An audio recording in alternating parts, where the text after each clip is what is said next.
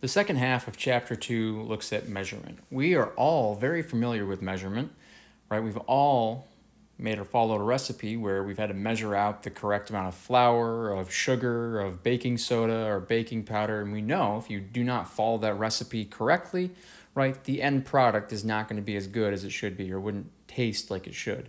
Uh, the same is true in chemistry. We need to be able to measure out the reagents we use in a reaction correctly, reproducibly, and in a way that we can communicate that to someone else so that they could reproduce that experiment uh, because they're able to measure in the same way that we are. So we're going to look at how we measure, how we measure correctly, um, and how we communicate that in science. Uh, the only due dates that you guys have going on right now are chapter 1 chapter 2 homework that will be due on sunday 524 um, at 11.59 p.m and uh, this whole lecture will encompass all of the bullet points. This first video, we're going to talk about measurement in science and scientific notation. The next video, we'll get into accuracy. Uh, and then the last video will deal with significant figures and dimensional analysis. And I really enjoy this lecture because there are many great examples uh, of exemplifying why measurement and why uh, units are very important in life uh, and in science, especially. And so this is just one of those examples. And so 1998, in December of 1998, the Mars Climate Orbiter was launched by NASA. And this was designed to orbit uh, Mars, so be a satellite of Mars, and collect information on the climate, the atmosphere, the surface topography of Mars. Uh, and this was a $330 million program, right? A lot more uh, than I make in a given year. And as you can imagine, there were many PhD level engineers, physicists uh, involved with this program. So many, many, many very educated people involved with this program. And as this orbiter was launched, right, the orbiter was launched into space in December of 99, and it took about 10 months or so for it to reach Mars. And so just imagine those engineers and those physicists just sitting in that control room waiting and waiting and waiting to collect data, right? There's nothing to scientists more than, than collecting and analyzing data. So they were sitting there and waiting and waiting and waiting. And so as that orbiter approached Mars, uh, there needed to be some critical adjustments to the thrusters on that orbiter because, number one, if the orbiter was going too fast and was too far from the planet, it wouldn't fall into orbit. It would just simply bounce over the planet and just continue on in the eternity of space. Um, and if it was going too slow and got too close to the planet, the orbiter could get sucked into the planet and crash into the surface of Mars. So both of those outcomes are not good. So there needed to be some key adjustments to the trajectory so that it the orbiter fell into the correct um, alignment with Mars and could orbit Mars properly. And so in September of 1999, some adjustments were made to the trajectory to set it into its final path so that it could become a satellite of Mars and report back all this great information to us. However, there was one problem with this. The one problem was that the input, the engineer that gave the input, gave the input in newtons per second. And that's okay if the program, right, if the thrusters were programmed in newtons per second However, that wasn't the case. The instrument that controlled the, the thrusters were programmed in non-metric units of foot-pounds per second, right? So the unit in did not equal the unit out, and so as you can imagine, this sent the orbiter on the wrong final trajectory, um, with the unfortunate result of the orbiter crashing into the surface of Mars and being completely destroyed. So a $330 million program, right, crashed into the surface of Mars, all because of units, all because the, the correct units were not used um, in this case. And that's with PhD level engineers and physicists working on this project, right? So, measurement in science is incredibly important. Units are incredibly important, right? Especially in chemistry. We're measuring temperature, we're measuring changes in a reaction, changes in mass, changes in heat. Um, measuring moles, as we'll talk about a little bit later. So in chemistry, it's a very quantitative subject. We're measuring many, many different things in a reaction. So anytime we're making a measurement, right, we need to indicate what we are measuring. Am I measuring a distance? Am I measuring a mass? Am I measuring energy? Am I measuring, um, you know, heat that's produced or electricity? Am I measuring um, how many molecules are there, right? Or am I measuring the light that's given off from a reaction? So we need to specify what you're measuring. We need the context of that, right? Am I measuring uh, quantity in volume, right? Am I liquid or a gas? So, and we also need to measure in a uniform way so that if I make a measurement you could go to lab and repeat that measurement. If I ran an experiment and collected data from that experiment, you could go to lab and do the same experiment and collect the same information. You could go to the lab and run the same experiment. All because we're going to be measuring in a uniform way, right? The same as with recipes, right? We need to measure the same amount of flour if we expect the, the recipe to come out with the, the correct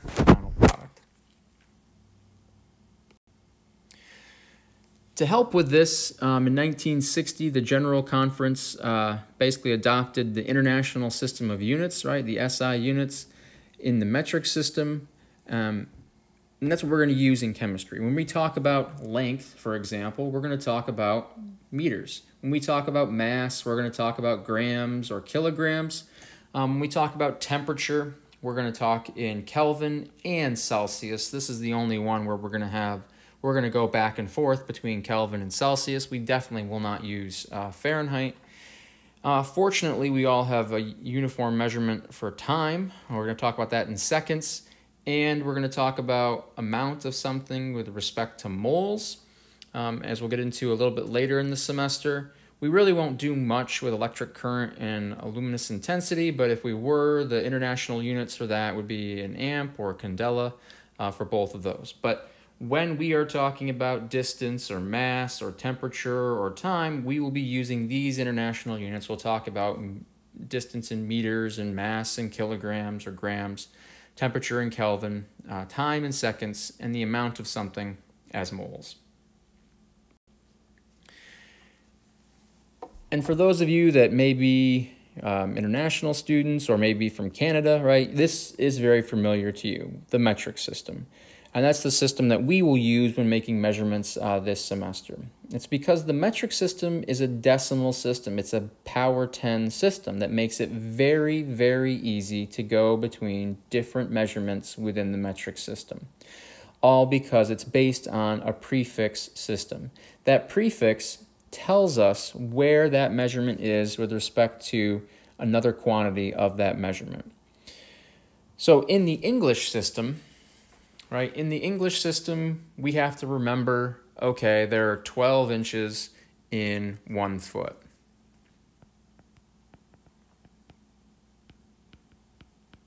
And we have to remember that there are, you know, 5,280 uh, feet equals one mile, right? That's the English system. Well, what's better in the metric system, in the metric system, right, if we want to do the same analogy, I have one meter, and then in, right, one meter, I would have 100 centimeters, right, where that prefix tells us centi, one one hundredth of that. Uh, I could go the same thing to kilometers, right? I, in one kilometer,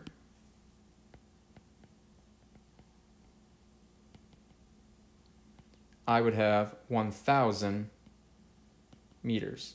And I'll break this down in a little bit, but that prefix tells us, okay, kilometer. I have 1,000 meters. So I don't have to remember how many inches are in a foot, how many feet are in a mile um, like I do in the English system because I know the base unit of distance is meter.